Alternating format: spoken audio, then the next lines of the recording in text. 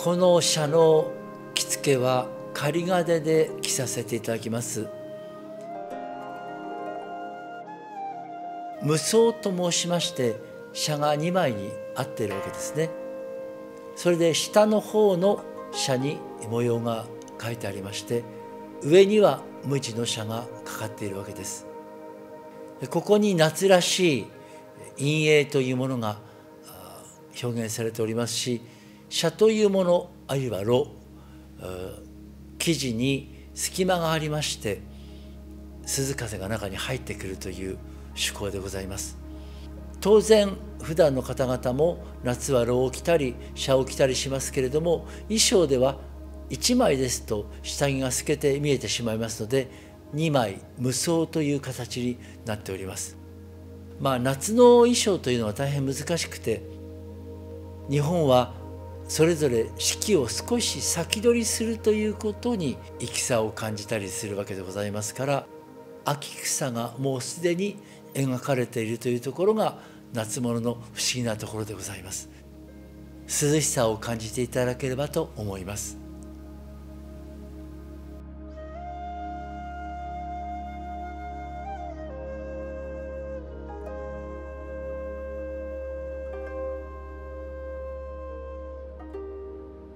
これは地唄の葵の上の空織の着流しではありませんが歌舞伎風にあるいは舞踊風に着ます短めに折ってあります衣装でございます。藤の模様に御所車が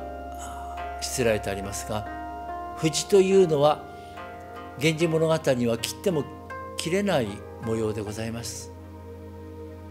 位の高い人たちが着る模様ですね。そして葵の上と六条の目安どころは車争いで、えー、負けまして葵の上に嫉妬して、えー、怨霊となって出てくるわけでございますからここに御所車と藤の花が絡んでいるわけです。この段になっておりますものは黒いところが黒紅と言いまして黒く見えますけれども紅色が黒くなっているのでございます。して方いわば主役が着ます衣装は段といって、え赤とか白あるいは赤と黒紅朱と黒紅金と銀段になっているのがして方が着る衣装となっておりますのでこれも御所車に富士の朱と黒紅の段ということになります。この衣装の中に葵の上と六条の目安どころの人生の全てが詰まっているとでも言うんでしょうか。